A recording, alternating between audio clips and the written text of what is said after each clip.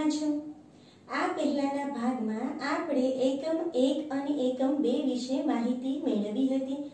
આજે નવા એકમની માહિતી મેળવવા માટે તમે મારી સાથે તૈયાર છો ને? શું કીધું? હા.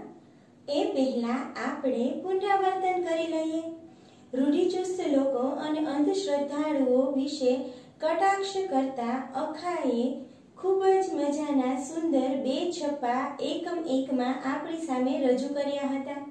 એ બંને છપ્પાઓમાં એમ કહેવામાં આવ્યું હતું કે, અંધશ્રદ્ધાળુ લોકો કે રૂઢિચુસ્ત લોકો નવીન વાત સ્વીકારવા માંગતા નથી, તેવા લોકોને તે પોતાની વાતો દ્વારા દબાવી દે છે. આવા મૂર્ખ લોકો એ હીરો તેજીને પથ્થર ઉપાડે છે. આવો કટાક્ષ કરતા અખો ઘણી જ દુઃખની વાત ગણાવે છે અને કહે છે કે હજુ પણ સંસારમાં આવા અંધશ્રદ્ધાળુ અને રૂઢિચુસ્ત લોકો રહે છે.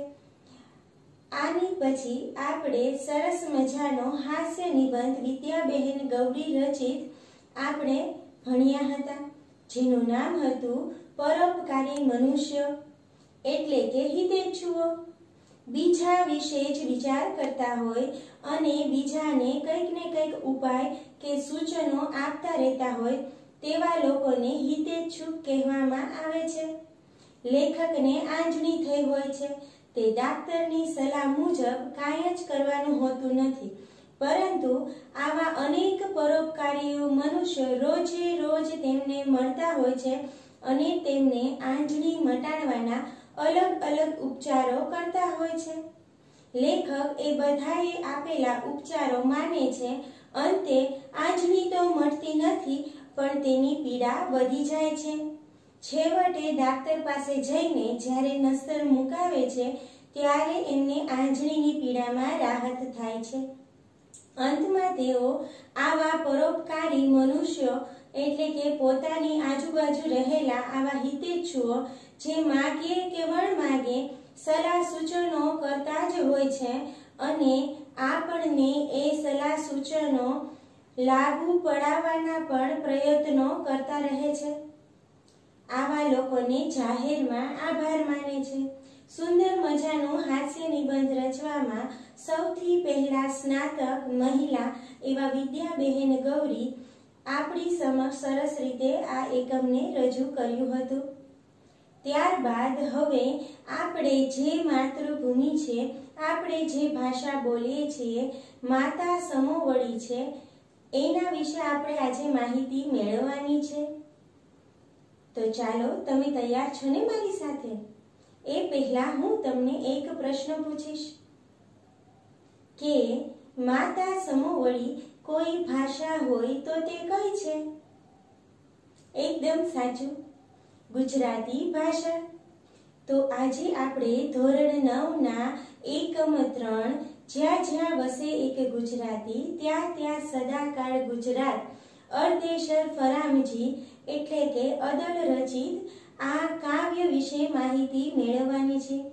ગુજરાતનું મહિમા ગાન કરતું આ કાવ્ય આપણને પણ જોશ અને જુસ્સો લગાવી દે એવું સરસ મજાનું કાવ્ય છે. કાવ્ય વિશે વધારે માહિતી મેળવતા પહેલા આ કાવ્યમાં આપણે શું ભણવાનું છે તેના વિશે થોડુંક આયોજન જોઈ લઈએ. એકમ આયોજન. પૂર્વ ભૂમિકા. કવિ પરિચય. અને ત્યારબાદ કાવ્યનું ગાયન. તો ચાલો મિત્રો, હવે આપણે સૌથી પહેલા પૂર્વ ભૂમિકા જોઈ લઈએ. જય જય ગરબી ગુજરાત. માત ગુર્જરી તાત ગુર્જરી માતા સમોવળી એવી ગુજરાતી ભાષા અને ગુજરાતનું આ મહિમા ગાન કરતું અર્દેશર ફરામજી એટલે કે અદલનું એક જાણીતું કાવ્ય છે. આ કાવ્યમાં તેઓ કહે છે કે જ્યાં એક પણ ગુજરાતી વસે છે, ત્યાં સદાકાળ ગુજરાત આ આબેહૂબ રચાઈ જાય છે. જ્યાં ગુજરાતીનો વાસ હોય છે, ત્યાં હંમેશા ગુજરાતની સંસ્કૃતિ અને અસ્મિતાને તે જાળવી રાખે છે. તેનું જતન કરતો રહે છે. આવા ગૌરવવંતા ગુજરાતમાં કૃષ્ણ દયાનંદ સ્વામી જેવા મહામાનવોએ જન્મ લઈને આની ભૂમિને પુણ્ય બનાવી છે.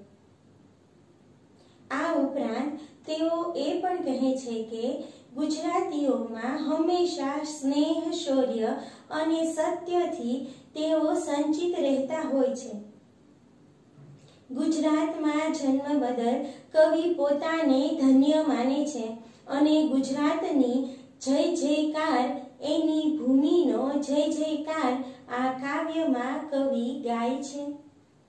આવા સુંદર મજાના જયનાદ કરનારા કવિ વિશે આપણે માહિતી મેળવવાની છે. આ ઉપરાંત કવિ આખા કાવ્યમાં એ પણ કહે છે કે, ગુજરાતીઓ ગમે તે દિશામાં હોય, ઉત્તરમાં હોય, દક્ષિણમાં હોય, કે ગમે તે દેશમાં હોય, પરંતુ જ્યાં એક પણ ગુજરાતી રહે છે, ત્યાં આબેહૂબ ગુજરાત રચાઈ જાય છે. બધા જ અણકીધેલા કોડ સપનાઓ અહીં પૂરા કરી શકાય છે. એ ઉપરાંત એ અતિશયોક્તિ દર્શાવતા એ પણ કહે છે કે જ્યાં ગુજરાતીઓનો વાસ હોય છે, ત્યાં તો સૂર્યના કિરણો પણ આપોઆપ તેને તેજ અને પ્રકાશ આપવા માટે દોડી ઉઠે છે. આવું ગુજરાતનું સુંદર મજાનું મહિમા ગાન કરતા કવિ આપણી સમક્ષ ગુજરાત અને ગુજરાતી ભાષા અને ગુજરાતમાં જન્મ લીધેલા દરેક લોકોનો જયનાદ કરે છે. તેમને ધન્યવાદ આપે છે. અને આવું સરસ મજાનું કાવ્ય આપણી સમક્ષ રજૂ કરે છે. આવું જોમ અને જુસ્સાસભર અને ઉલ્લાસયુક્ત કાવ્ય આપણને પણ ગાવું અને સાંભળવું ખૂબ જ ગમે છે. આ કાવ્ય દ્વારા આપણને પણ ગુજરાતી હોવાનો ગર્વ થાય છે. આવું સરસ મજાનું કાવ્ય રચનાના હવે આપણે કવિ વિશે પરિચય મેળવી લઈએ. તો ચાલો જોઈએ કવિ પરિચય. કવિ પરિચય. મૂળ નામ અર્દેશર ફરામજી ખબરદાર. ઉપનામ અદલ મોટાલાલ ભોજો ભગત ક્ષેમાનંદ ભટ્ટ. જન્મ છ અગિયાર અઢારસો એક્યાસીમાં દમણમાં થયો હતો. મૃત્યુ ત્રણ સાત ઓગણીસો ત્રેપનના રોજ થયું હતું. ખાસિયત, તેઓ જન્મે પારસી, કર્મે વેપારી, પરંતુ જીવ સાહિત્યકારનો હતો. સાહિત્ય કાવ્ય રસિકા, પ્રકાશિકા વિલાસિકા, ભારતનો ટંકાર, તેમના કાવ્ય સંગ્રહ છે. આ ઉપરાંત, પ્રભાતનો તપસ્વી, સંદેશિકા, કલિકા, ભજનિકા, રાસચંદ્રિકા, રાષ્ટ્રિકા, કલ્યાણિકા ગાંધી બાપુનો પવાડો, કીર્તનિકા વગેરે સંગ્રહોમાં તેમનું મહત્ત્વનું પ્રદાન રહ્યું છે. વિદ્યાર્થી મિત્રો, અર્ધેશ્વર ફરામજી એટલે કે અદર વિશે આપણે પરિચય તો મેળવી લીધો. પણ હવે હવે સમય આવ્યો છે આવું ગુજરાતનું મહિમા ગાન કરતું કાવ્ય ગાવા માટે. જ્યાં જ્યાં એક ગુજરાતી વસે છે, ત્યાં હંમેશા ગુજરાત હાજરા હાજર હોય છે. આવો જયનાદ પોકારતા ગુજરાતની ભૂમિ અને તેના લોકોને ધન્યવાદ આપતા કવિનું આપણે કાવ્ય ગાવા માટે હવે તૈયાર છીએ ને? તો ચાલો આપણે બધા સાથે મળીને હવે કાવ્યનું ગાયન કરીએ. કાવ્ય ગાયન જ્યાં જ્યાં વસે એક ગુજરાતી, ત્યાં ત્યાં સદા કાળ ગુજરાત. જ્યાં જ્યાં વસે એક ગુજરાતી, ત્યાં ત્યાં સદા કાળ ગુજરાત. જ્યાં જ્યાં બોલાતી ગુજરાતી, ત્યાં ગુર્જરીની મહોલાત જ્યાં જ્યાં બોલાતી ગુજરાતી, ત્યાં ગુર્જરીની મહોલા, જ્યાં જ્યાં વસે એક ગુજરાતી.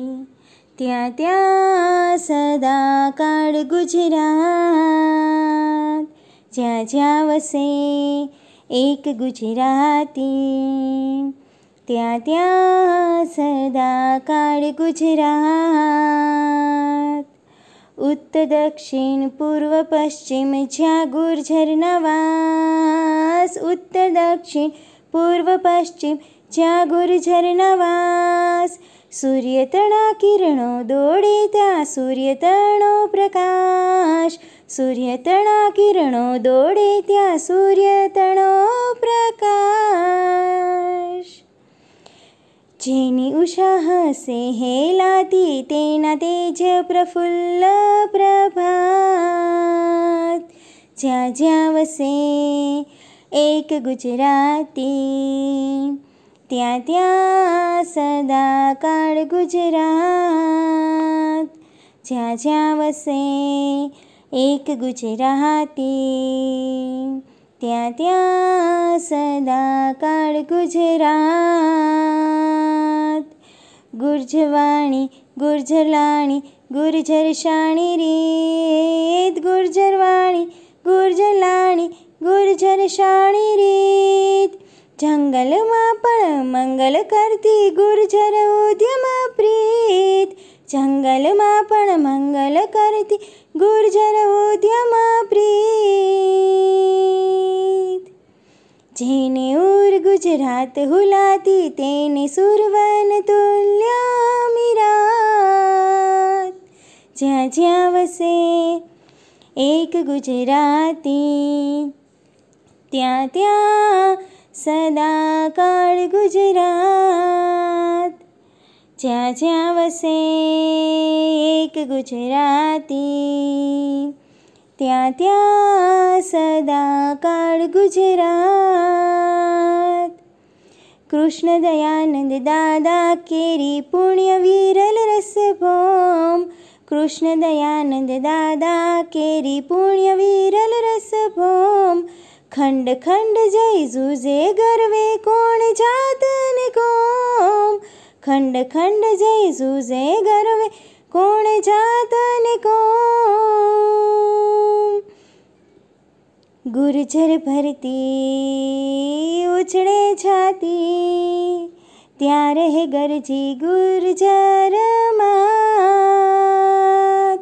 જ્યાં જ્યાં વસે એક ગુજરાતી, ત્યાં ત્યાં સદા કાળ ગુજરાત. જ્યાં જ્યાં વસે એક ગુજરાતી. ત્યાં ત્યાં સદા કાળ ગુજરાત અણકીધા કરવાના કોડે અધૂરા પૂરા થાય. અણકીધા કરવાના કોડે અધૂરા પૂરા થાય. સ્નેહ, શૌર્ય ને સત્ય તણાઉર વૈભવ રાસ રચાય. સ્નેહ, શૌર્ય ને સત્ય તણાઉર વૈભવ રાસ રચાય. જય જય જન્મ સફળ ગુજરાતી. જય જય ધન્ય દલ ગુજરાત. જય જય જન્મ સફળ ગુજરાતી, જય જય ધન્ય દલ ગુજરાત. જ્યાં જ્યાં વસે એક ગુજરાતી, ત્યાં ત્યાં સદા કાળ ગુજરાત. જ્યાં જ્યાં વસે એક ગુજરાતી, ત્યાં ત્યાં સદા કાળ ગુજરાત. તો કેવી મજા આવી ને? આવા સુંદર મજાના ગુજરાતને અને ગુજરાતી ભાષાને પ્રગટ કરતા કાવ્ય વિશે ગાયન કરીને તમે પણ મારી જેમ ગુજરાતી હોવાનો અને ગુજરાતી ભાષા વિશે ગર્વ અનુભવો છો ને? અચૂકપણે આપણે ગર્વ અનુભવવો જ જોઈએ. આવું જોશ અને ઉલ્લાસમય કાવ્ય ગાઈને આપણને એકદમ ગુજરાતી હોવા પ્રત્યે લાગણી અને ગર્વ ઉત્પન્ન થાય છે. હવે પછીના ભાગમાં આપણે બધા જ સાથે મળીને આ કાવ્ય વિશે સમજૂતી પ્રાપ્ત કરીશું. આભાર.